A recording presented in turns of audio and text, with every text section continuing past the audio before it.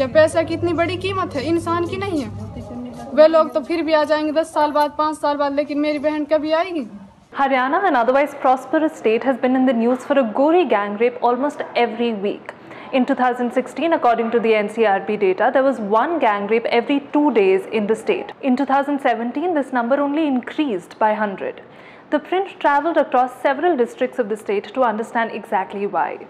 ये पर्टिकुलर किसी लड़की के खिलाफ नहीं होती ये क्राइम इन्हें सोसाइटी के अगेंस्ट माना जाता है तो जो क्राइम सोसाइटी के अगेंस्ट हो उसमें कभी भी कोई पंचायती लेवल पे या प्रेशर में आके कोई कंप्रोमाइज नहीं होने चाहिए Exposure to social media, smartphones, and co education has had this dreaded impact on the patriarchal state.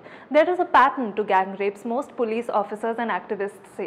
एक लेवल पे जो लड़के हैं एक तरह की मतलब ऐसी भयानक स्थिति देखने को मिलती है कि वो उस लड़की के उस जेन्युइन मतलब एस्पिरेशन को जो है, वो मौज मज़े की जगह से देखते हैं और खुद उस लड़की से बॉयफ्रेंडशिप के नाम पे एक रिश्ता बनाएँगे और फिर धीरे धीरे वो कई सारे लड़कों को सोचते हैं कि भी यूज़ करें उस लड़की को जो है।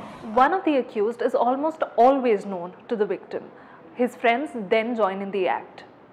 Given that unemployment, especially among young boys, is rather high in the state, drug abuse and alcohol abuse is also a problem.